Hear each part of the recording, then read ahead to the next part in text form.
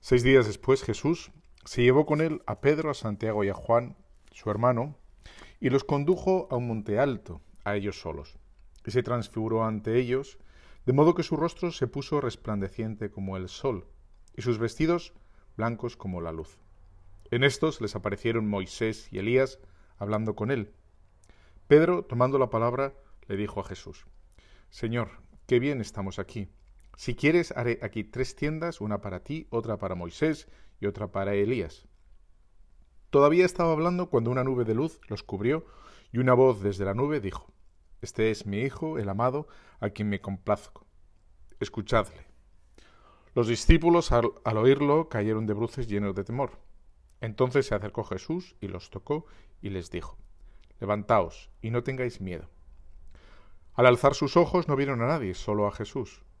Mientras bajaban del monte, Jesús les ordenó, No contéis a nadie la visión hasta que el Hijo del Hombre haya resucitado entre los muertos. Palabra de Dios. Bueno, de unos días atrás, casi dos semanas, vamos a hacer ahora, celebramos los carnavales.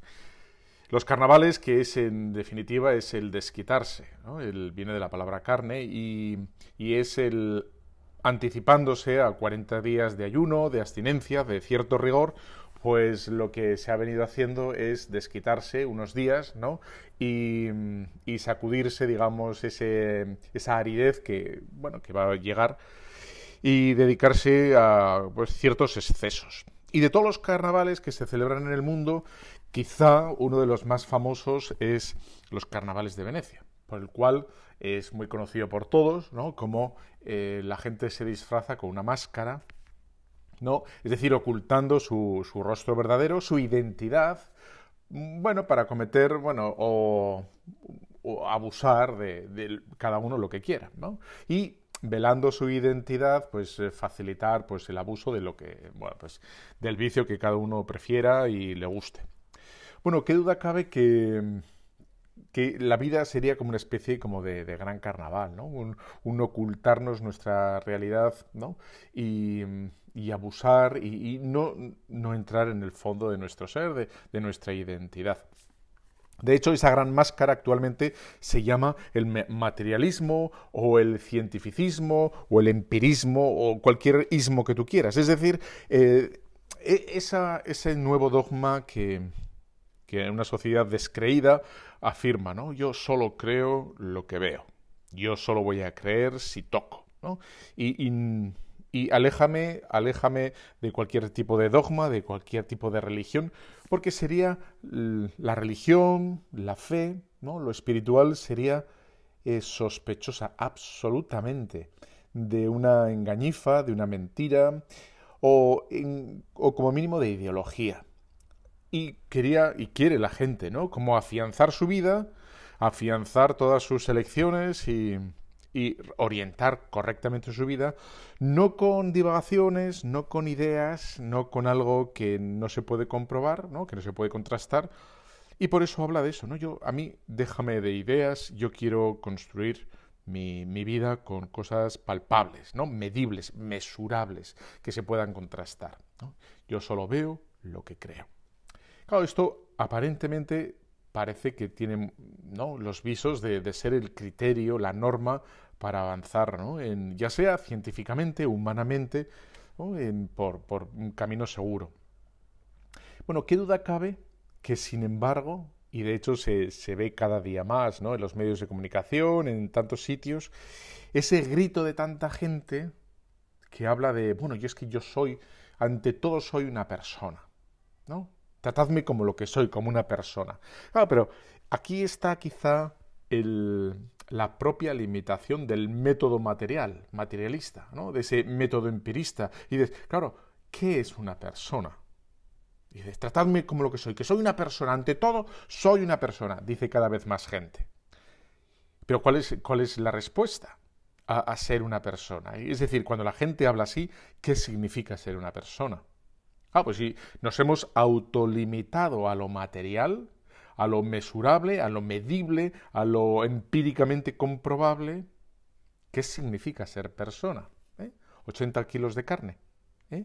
un estómago, un corazón y una psique.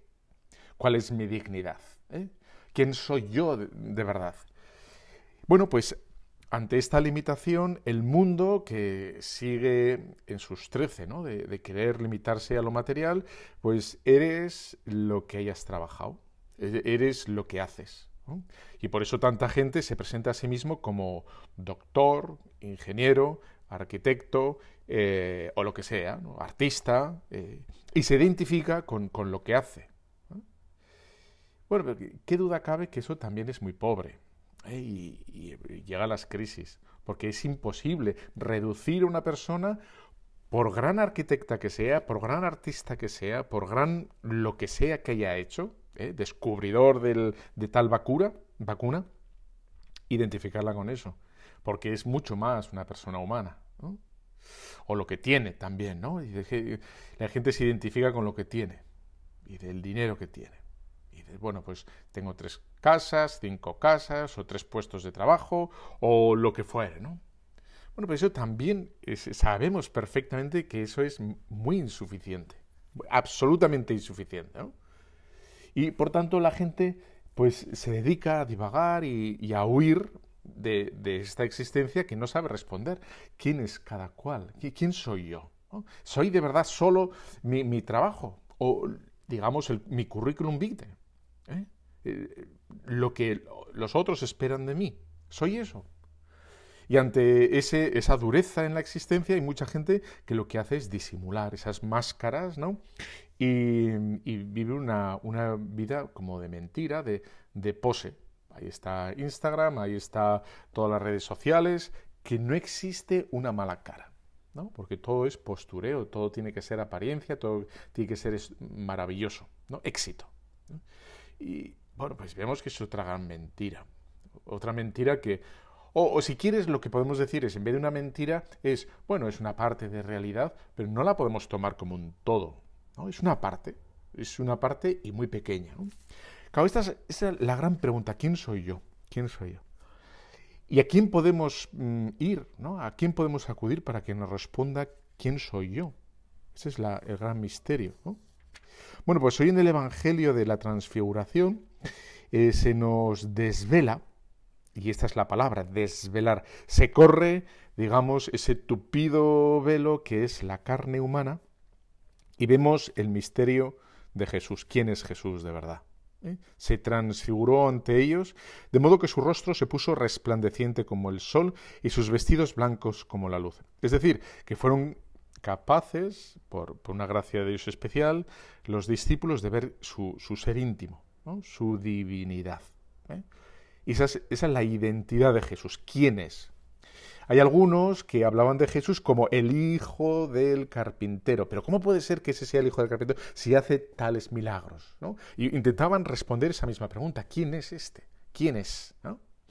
Se les revela el misterio de Jesús en la transfiguración a Pedro, Santiago y a Juan, su, esa, la gran pregunta, ¿quién, ¿quién es Jesús? Y también se nos, responde a nosotros, ¿quiénes somos nosotros? ¿Quién soy yo? ¿Quién eres tú? hijos de Dios. Eso es lo que afirmamos. Esa es la gran maravilla de, nuestra vocación. Somos hijos de Dios. Claro, ciertamente esta respuesta no se puede dar a través de las matemáticas, ni de la física, ni de la química, ni siquiera de la ética. ¿no?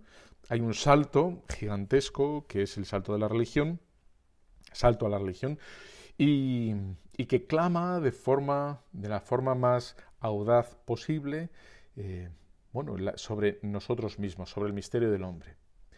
¿Qué es lo máximo que se puede decir del hombre? Que es una criatura, eh, bueno, pues caduca, limitada, incluso a veces miserable por sus conductas, por sus reacciones. ¿no?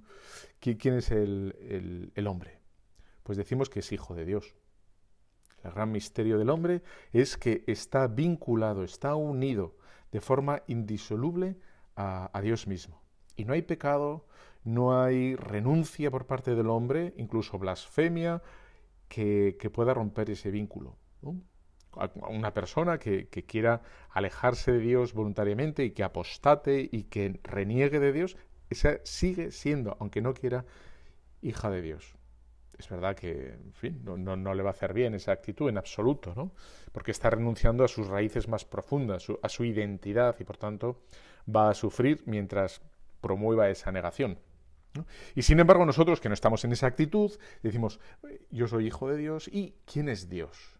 También aquí otra vez la, la religión católica tiene, la cristiana, tiene la máxima definición de Dios. Dios es amor puro, incorruptible, sin fisuras eh, y, que no se arrepiente de seguir amando incluso a nosotros cuando nosotros no amamos. Y ahí está, por tanto, nuestro vínculo con Dios y nuestra vocación. Somos hijos de Dios y nuestra vocación es manifestar, expresar al mundo quién es Dios y por tanto quiénes somos también nosotros, hijos de Dios, hijos a la vocación de, amar a todo el mundo y decir a todo el mundo que es hija de Dios, que, está llamada y que Dios les quiere. Esta es la maravilla de la vocación cristiana. Pues le pedimos a nuestra Madre la Virgen María, que es Madre del Amor Hermoso, ¿verdad? Que nosotros, que estamos llamados a portar esa luz, esa llama, allí donde estemos, a nuestros amigos, a nuestros colegas, incluso a los desconocidos, que, nos acordemos primeramente nosotros de vivir de esa llama, de esa gran verdad, y poder prender a los corazones de nuestros amigos, de nuestros conocidos, con esta verdad que consuela tanto de que somos queridos por Dios, somos el Señor nos espera.